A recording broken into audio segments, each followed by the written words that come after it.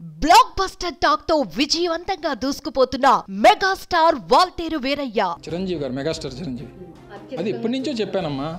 ఇప్పుడు కాదు నాకు మెగాస్టార్ చిరంజీవి గారు నేను చిన్నప్పటి నుంచి నా జనరేషన్ అంటే పంతొమ్మిది వందల ఎనభై ఎనభై ఐదు నా డేట్ ఆఫ్ బర్త్ ఎనభై ఐదు.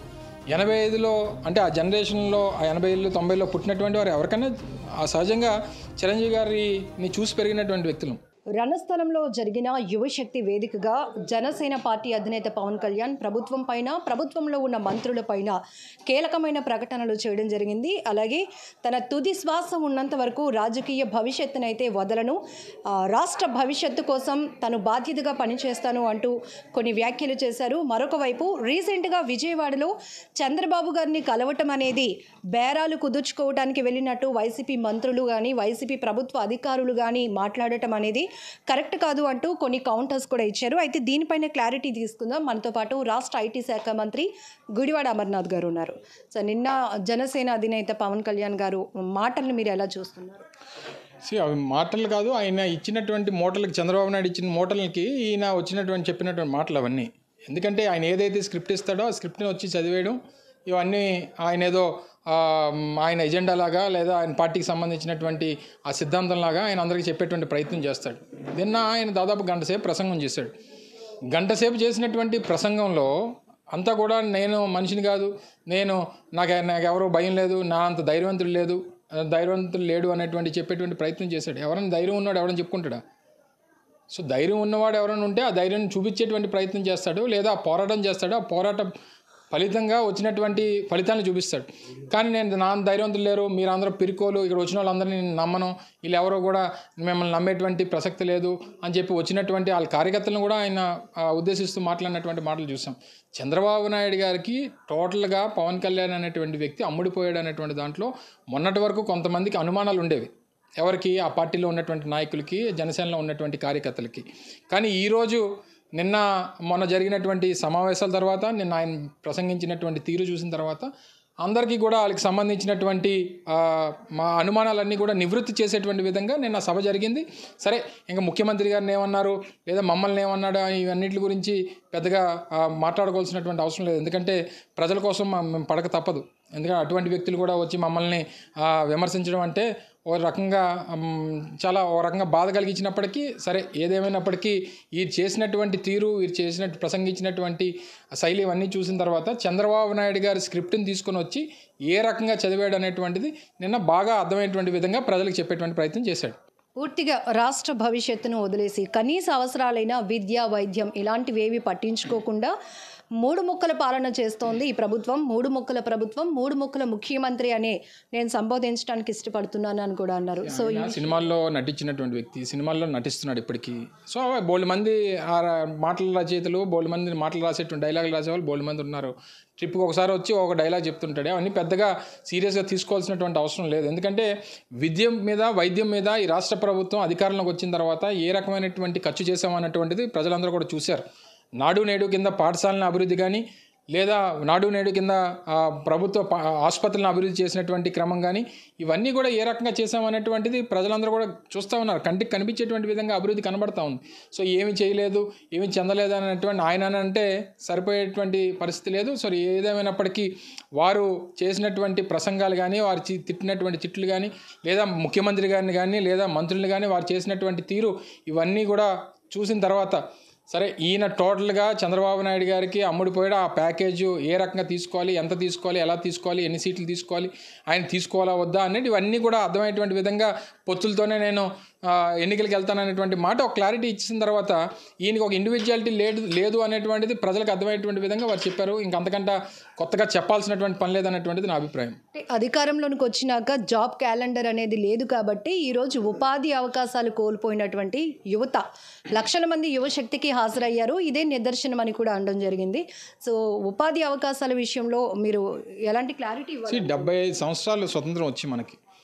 రాష్ట్ర ప్రభుత్వంలో స్వతంత్రం వచ్చిన దగ్గర నుంచి మేము మొన్న అధికారంలోకి వచ్చినంత వరకు రాష్ట్ర ప్రభుత్వంలో ఉన్నటువంటి ఉద్యోగుల సంఖ్య నాలుగు లక్షల మంది. ఈరోజు రాష్ట్ర ప్రభుత్వం ఉద్యోగుల సంఖ్య ఎంత తీయమనండి? ఈరోజు రాష్ట్ర ప్రభుత్వంలో ఉన్నటువంటి ఉద్యోగుల సంఖ్య ఆరు లక్షల మంది. నాలుగు లక్షల మంది పూర్వం నుంచి ఉన్నటువంటి వారు లక్ష ముప్పై వేలు లక్ష నలభై వేల మంది ఈ గ్రామ సచివాలయం వార్డు సచివాలయం ద్వారా ఎంపిక చేసినటువంటి వారు. ఏపీఎస్ ఆర్టీసీ ఏదైతే ఉందో ఆర్టీసీ నుంచి మర్చి చేసుకున్నటువంటి వారు ఒక యాభై వేల మంది ఉన్నారు. వీరందరితో పాటు మిగిలిన మెడికల్ సెక్టర్లో కానీ మిగిలినటువంటి సెక్టర్స్లో కానీ తీసుకున్నటువంటి వారు ఒక పదిహేను వేల ఇరవై వేల మంది ఉన్నారు. వీళ్ళందరూ కూడా రెండు లక్షల మంది ప్రభుత్వ ఉద్యోగాల్లోకి తీసుకున్నటువంటి ఏకైక ప్రభుత్వం స్వతంత్రం వచ్చిన తర్వాత వైఎస్ఆర్ కాంగ్రెస్ పార్టీ ప్రభుత్వం. సో ఈ రెండు లక్షల మంది ఏ ఊరు వాళ్ళకి ఇచ్చామా? ఒరిస్సా వాళ్ళకి ఇచ్చామా? లేకపోతే ఛత్తీస్గఢ్ వాళ్ళకి ఇచ్చామా? వీళ్ళందరూ కూడా ఈ రాష్ట్రంలో ఉన్నటువంటి యువత యువకులు ఎప్పటి నుంచో ప్రభుత్వంలో పనిచేయాలి ప్రభుత్వంలో మనం కూడా భాగస్వాములు కావాలని చెప్పి అనుకున్నటువంటి వారందరికీ అవకాశం ఇచ్చాం. ఇంకా వాలంటీర్ల సంగతి వీళ్ళందరూ ఇంకా అవుట్ సోర్సింగ్లో వచ్చినటువంటి వారు ఇవన్నీ లెక్క పెట్టుకుంటూ పోతే ఎక్కడికో వెళ్ళిపోదు. కానీ మేము ప్రభుత్వంలో తీసుకున్నటువంటి ఉద్యోగుల సంఖ్య దాదాపు రెండు లక్షల మంది ఉన్నారు. సో ఇవన్నీ తీసుకుంటుంటా ఉంటే ఏమీ తీసుకోవట్లేదు ఎవరికి ఉద్యోగ అవకాశాలు ఇవ్వట్లేదు అని అంటే సరే మనం యువశక్తి అని పేరు పెట్టాం కాబట్టి ఏదో మనం మాట్లాడాలి ఉద్యోగాలు రావట్లేదు ఉద్యోగాలు ఇవ్వట్లేదు అనేటువంటి మాటలు మాట్లాడాలనేటువంటి విధంగా మాట్లాడిన రేపు పోలీస్ కానిస్టేబుల్కి సంబంధించి ఎస్ఎల్కి సంబంధించి అందరికీ కూడా నోటిఫికేషన్స్ ఇవ్వడం జరిగింది. ఇవన్నీ ఎక్కడ పోతాయి? ఇవన్నీ ఎవరికి ఉద్యోగాలు ఇవ్వడానికి రాష్ట్రంలో ఉన్నటువంటి యువత యువకులకి వారికి అవకాశాలు కల్పించాలన్నటువంటి ఉద్దేశంతో చేస్తున్నటువంటి కార్యక్రమాలు. ఊరకనే చంద్రబాబు నాయుడు గారి కోసం నేను రాజకీయం చేస్తాననేటువంటి ఆయన ప్రయత్నం ఈరోజు తేడతల్లం అయింది. ప్రజలకు అర్థమయ్యేటువంటి విధంగా ఈరోజు వారు మాట్లాడుతున్నారు ఎందుకంటే కొత్తగా వారు నిన్న ప్రసంగంలో అంతకంటే గొప్పగా ఏం చెప్పినట్టుగా నాకైతే కనబడట్లేదు. రెండు వేల ఇరవై నాలుగులో జనసేన ప్రభుత్వం వచ్చినా మిశ్రమ ప్రభుత్వం వచ్చినా ఇప్పుడున్న పథకాలు ఏవి తీయను మీరు భయపడకండి బెటర్గా పథకాలు ఇస్తాను అంటున్నారు. సో దీనిపైన మీరు ఎలా అసలు ఈ పథకాలు తీసే శక్తి ఎవరికైనా ఉందా? అసలే వ్యవస్థలో ఈ తీసుకొచ్చినటువంటి మార్పుల్ని స్వతంత్రం వచ్చిన తర్వాత వైఎస్ఆర్ కాంగ్రెస్ పార్టీ అధికారంలోకి వచ్చిన తర్వాత రాష్ట్రంలో వ్యవస్థల్లో తీసుకొచ్చినటువంటి మార్పు కానీ లేదా ప్రజలకు అందిస్తున్నటువంటి సంక్షేమాన్ని కానీ ముట్టుకునేటువంటి శక్తి ఎవరికైనా ఉందా? ఏదన్నా అమ్మఒడి పథకం తీసేయమనండి? లేదా పెన్షన్ ఇస్తున్నటువంటి పెన్షన్ తీసేయమనండి? లేకపోతే చేయూత కానీ లేకపోతే ఇతర ఇతర పథకాలు కానీ ఏదన్నా ముట్టుకోమనండి? లేదా సచివాలయం వ్యవస్థ తీసేస్తామని చెప్పి చెప్పమనండి? లేదా వాలంటీర్లని ఆ, ఈరోజు గ్రామాల్లో ఉన్నటువంటి వాలంటీర్లు ఉద్యోగాలు తీసేస్తామని చెప్పి చెప్పమనండి? ఏ వ్యవస్థనన్నా ముట్టుకునేటువంటి శక్తి ఎవరికి లేదు. సో నేను ఎవరన్నా వస్తే ఎందుకంటే ఏం చేస్తామని చెప్పేటువంటి ఆ బాధ్యత కానీ ఆలోచన కానీ పవన్ కళ్యాణ్ అనేటువంటి వ్యక్తి అసలు ఆ పార్టీ అధికారంలో తీసుకురావాలని ఆయన అనుకున్నప్పుడు మనం ఎందుకు అనుకోవడం నాకు తెలియగలుగుతా జనసేన అనేటువంటి రాజకీయ పార్టీ మేము ప్రభుత్వం ఏర్పాటు చేయడానికో లేదా మేము ముఖ్యమంత్రి అవడానికో లేదా మా పార్టీని అధికారంలోకి తీసుకురావడం కోసం పెట్టినటువంటి పార్టీ కాదు. మేము కేవలం కూలి పని చేయడానికి మాత్రమే వచ్చాం రాజకీయాల్లోకి. చంద్రబాబు నాయుడు గారి తాలూకు సామాన్లు మోయడానికి చంద్రబాబు నాయుడు గారిని బొరకెక్కించుకోవడానికి ఆయన భుజాల మీద ఎత్తుకొని తిప్పడానికి మాత్రమే రాజ- రాజకీయాలకు వచ్చాం. ఆయన ఎంత కూలి ఇస్తే ఆ కూలికి పనిచేస్తాం అనేటువంటి ఆలోచనతో వచ్చినటువంటి వ్యక్తికి మనం ఎంతసేపు ఆయన పథకాల గురించి ఏం చేస్తాడు అనేటువంటి దాని గురించి మాట్లాడుకోవడం అనవసరం అనేటువంటిది నా అభిప్రాయం. సో మీరు ఎప్పుడు అంటుంటారు కాపుల పేటెంట్ ఆయన తీసుకున్నట్టు కాపు మంత్రుల్ని టార్గెట్ చేస్తూ ఎప్పుడు మాట్లాడతారని? నిన్న మాత్రం యువశక్తి సభలో ఆయన ఒకటే చెప్పారు. అంటే కాపు నాయకులకు సంబంధించిన నేతను కాదు నేను పబ్లిక్ కోసం వచ్చాను జనాల కోసం సామాన్యుల కోసం అని సో నిన్న అత్యధిక శాతం మాట్లాడే విషయంలో కూడా మీ మీద ఎక్కువగా మాట్లాడారు. దానిపై సరే నన్ను ఏదైనా అంటే నేను పడతానండి. ఈ ప్రాంత ప్రజల కోసం రాష్ట్ర ప్రజల కోసం జగన్మోహన్ రెడ్డి గారు నాకు ఇచ్చినటువంటి బాధ్యత కోసం నేను పడ పడతాను పడేటువంటి ఆ బాధ్యత ఆ సంస్కారం జగన్మోహన్ రెడ్డి గారు మాకు నేర్పించారు. ఈరోజు నాకు పేరు తెలియదు ఆ, ఆడెవడో నీచ్ కమీని కుత్తే ఇలాంటి మాటలన్నీ మాట్లాడాడు. అసలు నా చరిత్ర గురించి తెలుసా? మా తాత ఎమ్మెల్యే మా నాన్న ఎమ్మెల్యే నేనే ఎమ్మెల్యే మా నాన్న మంత్రి చేశాడు నేను మంత్రి చేశాను. వాళ్ళ నాన్న కానిస్టేబుల్ ఉద్యోగం చేయకముందు వాళ్ళ ఇప్పుడు ఈ జీవితాన్ని ఇచ్చినటువంటి చిరంజీవి గారు వాళ్ళ అన్నయ్య గారు ఆయన పునాదిరాళ్ళు సినిమా తీయకముందు రాజకీయాల్లో ఉన్నటువంటి కుటుంబాలు మావి. ఈ ప్రాంతంలో దాదాపు అరవై సంవత్సరాలుగా రాజకీయాల్లో ఉన్నటువంటి కుటుంబాలు ఈ ప్రాంతానికి సేవ చేసినటువంటి కుటుంబం అది. ఈ ప్రాంతంలో ఈ ప్రాంత ప్రగతిలో ఈ ప్రాంత అభివృద్ధిలో విశాఖపట్నం ఉమ్మడి జిల్లా అభివృద్ధిలో ఒక ఒక కీలక పాత్ర పోషించినటువంటి కుటుంబం నుంచి వచ్చినటువంటి వ్యక్తులు. ఇటువంటి పుడింగులు మాట్లాడితే లేకపోతే ఇటువంటి వ్యక్తులు వచ్చి ఏది పడితే అది మాట్లాడేసి ఏది పడితే అది అంటే సరే రాజకీయాల్లో ఉన్నాం మనం వాళ్ళ ఒక మాట అన్నప్పుడు పడాల్సినటువంటి అవసరం ఉంది. ఎందుకంటే ఈ ప్రజల కోసం ఈ ప్రజలకి ప్రాతినిధ్యం వహిస్తున్నటువంటి వ్యక్తులుగా రాష్ట్రంలో ఒక కీలకమైనటువంటి కార్య పొజిషన్స్లో ఉన్నటువంటి వ్యక్తులుగా జగన్మోహన్ రెడ్డి గారి కోసం రాష్ట్ర ప్రజల కోసం పడతాం.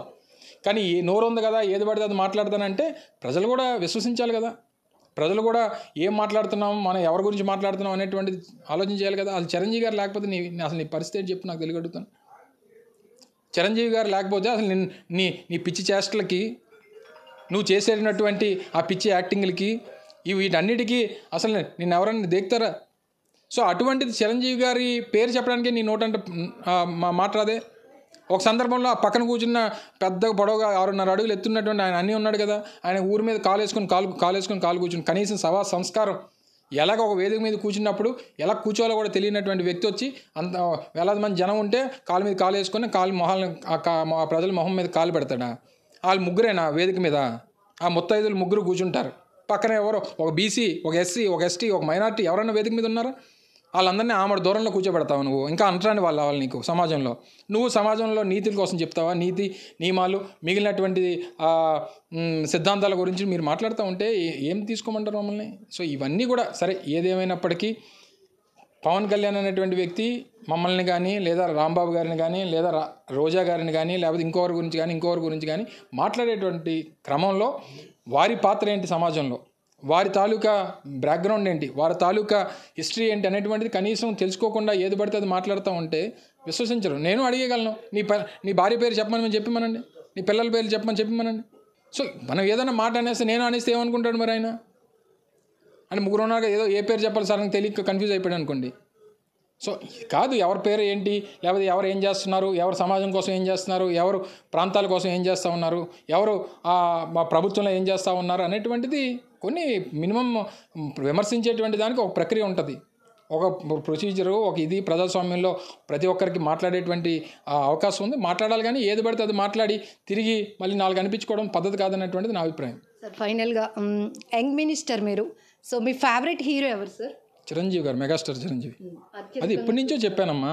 ఇప్పుడు కాదు నాకు మెగాస్టార్ చిరంజీవి గారు నేను చిన్నప్పటి నుంచి నా జనరేషన్ అంటే పంతొమ్మిది వందల ఎనభై ఎనభై ఐదు నా డేట్ ఆఫ్ బర్త్ ఎనభై ఐదు. ఎనభై ఐదులో అంటే ఆ జనరేషన్లో ఆ ఎనభై ఏళ్ళు తొంభైలో పుట్టినటువంటి వారు ఎవరికైనా ఆ సహజంగా చిరంజీవి గారిని చూసి పెరిగినటువంటి వ్యక్తులు. సో అటువంటి వ్యక్తుల్ని అటువంటి సినిమా యాక్టర్ని చూసి సహజంగా అదొక ఫీల్డ్ అది. ఇప్పుడు అలాగని చెప్పి చిరంజీవి గారు రాజకీయాల్లోకి వచ్చారు. ఆయన వెన్నట్టు నడిచేటువంటి కార్యక్రమం చేయలే. కొన్ని పాలసీలు కొన్ని సిద్ధాంతాలు కొన్ని ఫాలో అవ్వాల్సినటువంటి అవసరం ఉంటుంది. రాజకీయాలు వేరు సినిమా వేరు. సో ఇవన్నీ కూడా ఏదేమైనప్పటికీ ఆయన మా బాధ అంతా ఏంటంటే చిరంజీవి గారి ఫ్యాన్స్గా మా బాధ ఎలా ఉంటుందంటే చిరంజీవి గారి వల్ల నాకు ఈ జీవితం వచ్చిందనే మాట ఎప్పుడు చెప్పడం అది నా మా మా బాధ అంతా చిరంజీవి ఫ్యాన్స్ది. ఏ రోజు కూడా నాకు ఈరోజు పవన్ కళ్యాణ్గా గుర్తింపు వచ్చిందంటే అది కేవలం చిరంజీవి గారి వల్లే అనేటువంటి మాట ఏ రోజు అని చెప్పాడా?